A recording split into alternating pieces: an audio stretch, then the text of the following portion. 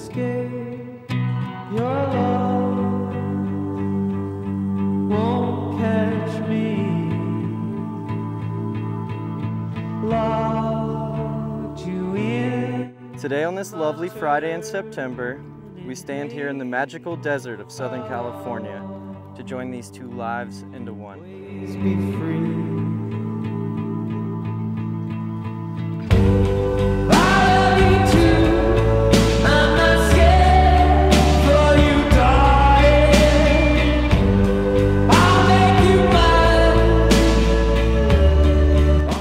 A commitment to love each other every day.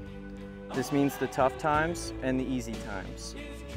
My only bit of advice is to remain flexible and supportive of each other. Most couples dream of a relationship like yours that is built on the foundation of balance, trust, and communication.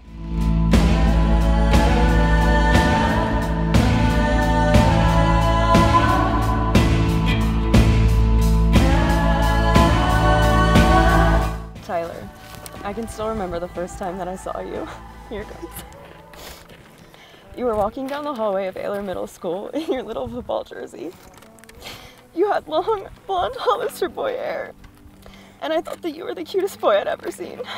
It was right out of a movie, you know, where it goes in slow motion. I don't know what it was about you, but my heart knew what it wanted the minute it saw you.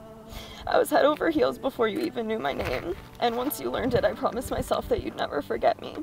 Little did I know that you would someday be standing here, giving me your last name. I promise to love you with all of my heart. I promise to give you the world, and I promise that all of me will be yours forever. Jordan Shiloh, I vow to always be your number one fan, to support all your dreams, and be beside you to celebrate all of your accomplishments. I vow to be the person that makes you the happiest, and the person that makes you feel special every single day. I vow to never let you forget that you're the best damn thing that's ever happened to me. Do you, Tyler Jerry, take Jordan to be your lawfully wedded wife?